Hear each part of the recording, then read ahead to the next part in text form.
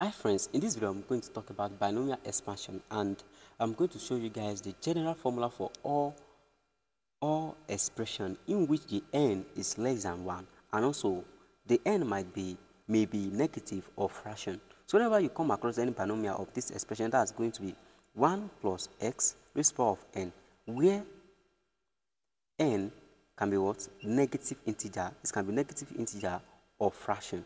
Or you simply say when n is less than 1 so, oh, whenever you come across any binomial of this expression or this expression, then the n, the value of n there is less than 1 or it is negative. You're going to use the expression I'm going to give you guys right now.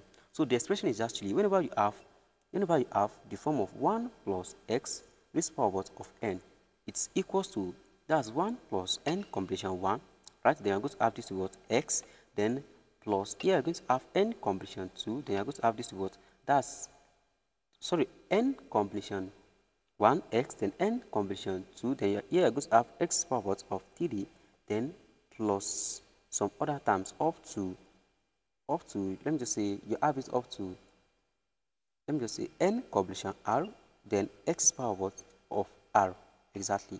So up to this term exactly. So here okay this should be 2 raised power of 2 exactly then plus some other terms up to n combination r x power of r or you see, let me just say, let me represent it as just a function of, of x. So here I can just have it to be that's um, 1 plus, that's, let me just say this n combination 1, then we have this to be p of x because x is a function here.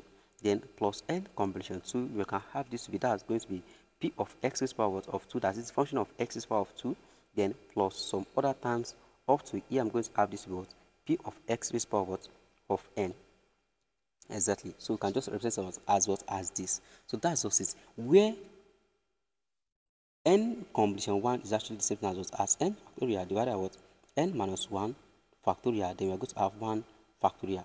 Right? So this is simply the same thing as writing that's going to be n into bracket n minus 1 factorial divided by what that's going to be n minus 1 factorial then 1 factorial is what 1 so this cancels this so here we're going to have it to what to be n that means n combination 1 is equal to what n so that's just it. So now, after that, you can just have n combination 2. Whenever you have n combination 2, the expression is as writing n factorial divided by what? n minus 2 in the bracket what? n minus 2 factorial 2 factorial, exactly. So here, this is simply writing, this simply, that's going to be n into bracket n minus 1. Then here we're going to have n minus 2. Then here factorial divided by what? n minus 2 factorial. This is going to be 2 factorial. So this cancel this, you're going to have this to be n into bracket n minus 1, right? Then followed by, that's 2 factorial. So that's just it. So let's say you are given a question. Let's say you are asked to expand an expression of, let me just say you are given 1 plus s squared all this power was minus 1 and you are asked to expand this expression it's very simple you just have to to equate it to, to this expression on this side, which is 1 plus x to the power of n. So here I'm going to equate it. That's going to be, it is equal to 1 plus x to the power of n. So in this case, what I just named is x. My x is equal to x to the power of 2. Then my n here is what is a negative integer, which is minus 1. So now using this expression, I'm going to have it to go, using this general expression, I'm going to have this to go, that's going to be 1 plus s squared to the power of minus 1 equals to what? That's going to be 1 plus, followed by, that's n combination, what's my r? my r is actually 1 right? Then i'm going to have x which is s squared right? Then followed by plus. Here i'm going to have this to be n combination 2 which is n combination 2 let me just replace as, as this. And what's my n? Minus 1 into brackets minus 1 then minus 1 again divided by what? That's 2 factorial. Then plus some other terms. Then here i'm going to have this to be 1 plus n combination 1 is the as, as n. Then i'm going to have this what? Minus 1 into brackets s squared. Then here I'm going to have plus. Here I'm having minus 1, minus 1. That's going to be what? Minus 2. Then minus 2 times 1 is going to be plus 2. Then here should be s squared. And s squared is actually, that's going to be s squared or squared. So this is s power 4. So here we're going to have s power 4. The other was 2 factorial. Then plus some other terms. So here we're going to have 1 minus s squared. Then here we're going to have plus this cancel this. Then I'm going to have x power of 4. So that's just the expansion towards to this, this expression. Then let me just give you another question. Let's say we are asked to expand a binomial expression of, you're asked to expand, let's say you are given 1 plus 2x raised power what of minus 1 over 2. You are asked to expand this. This is also a negative binomial. If you look at this negative integer here. So here we're going to have this to what? That's going to be, in this case, our x will be equal to 2x and our n will be equal to what? Minus 1 over 2. Then simply, I'm going to expand this up to what? Up to, up to polynomial of degree 2. So here I'm going to have this be 1 plus here I'm having n combination 1. n combination 1 is still the same as as n. So I'm going I'm simply going to represent this as as nx. So here is going to be into brackets that's going to be minus 1 over 2. Then my x is actually 2x then plus n combination 2 that's going to be n combination 2 is what is simply the same as as this expression which is going to be minus 1 over 2 into brackets minus 1 over 2 then followed by minus 1 then s squared this is going to be s squared here so here I'm going to have s squared. So here I'm going to have this to be 2x. That's going to be 2x all squared divided by what? That's 2 factorial plus some other terms. Then here I'm going to have this to be equal to that's 1. This is going to be um, this cancel this. We are going to have this to be what? Minus x. Then followed by here I'm going to have this to be minus 1 over 2 minus 1 minus 1 over 2 minus 1. That's going to give you minus 3 over 2. Here it's going to be minus 3 over 2. The minus 3 over 2 multiplied by minus 1 over 2. That's going to give what? Plus. That's going to be 3 over 4 then plus 3 over 4 this is going to be 2 squared. You know if this is actually plus 3 over 4 then here is 2 squared which is what? 4s then we're going to have squared. So that's going to be this is going to be 3 divided by 4 multiplied by 4s squared. Then this simply cancels this. I'm going to have this over 3s squared.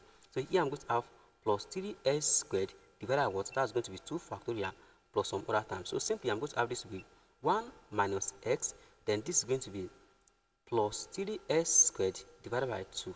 So that's just the expansion. If I stop at what as polynomial what, of degree 2. So that's just it. Then let me just give you another one. Let's say we are given, we are asked to expand this. That's 1 plus 2x all this power of, let me just use 3. Exactly. So the n terms here is actually, the n here is actually, that's 3. Right? So the x here is what? Is 2x. Then this is equals to 1 plus n which is 3. x which is what? 2x then plus what? Here I'm going to have n that's going to be 3 into bracket 3 minus 1 divided by what? That's 2 factorial. Then s squared which is what? 2x or squared. Then plus again since the value of n here is actually 3 then let me just add one more to it. So adding one more to it I'm going to have this to be that's going to be plus again I'm going to have this be n again. That's going to be 3 into brackets. That's going to be 3 minus 1 right? Then followed again. Then i'm going to have 3 minus 2 then after that i'm going to have this be that's going to be x 2 x is power of 3 then divided by what this is going to be 3 factorial. Exactly. You know for 3 factorial it is going to be something like that's n combination 3 and n combination that's going to be n factorial divided by what? N minus 1 factorial right n minus 3 factorial then 3 factorial this is simply n into bracket n minus 1 into bracket n minus 2 into bracket n minus 3 factorial divided by what is going to be n minus 3 factorial then 3 factorial. So this is going to cancel this. Then I'm going to have this expression to be n into bracket n minus 1 into bracket n minus 2 then divided by what that's going to be 3 factorial which is this. And our n is 3. We're fixing 3 here, 3 here and 3 here. This is just the expression. Can you see this now? So let's go ahead and, and simplify this further.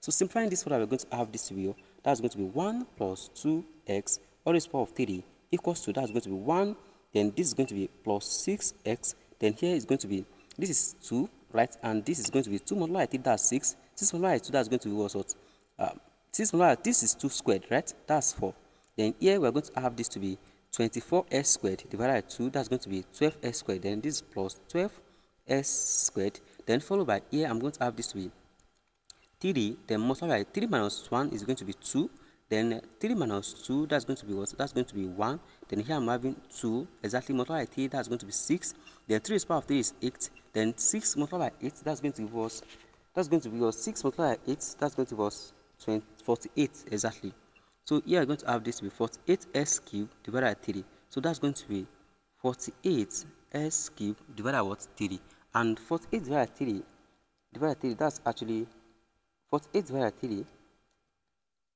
that's 16 so here going to have plus 16 x is power of 3 now if you look at this very well it's very simple. First thing that you need to consider is that look at this side. This side is actually 2 multiplied by 3 which is what? 6 what of this?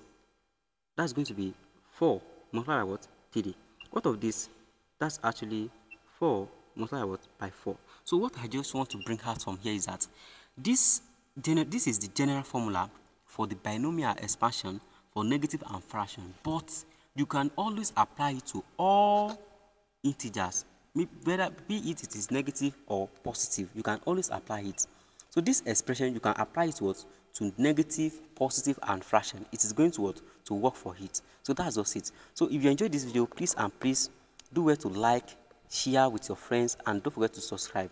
And one thing is that I'm going to solve more questions on this, on this um, general formula for negative and fraction. I'm going to solve more questions on it so that you guys will have better understanding on how to solve it.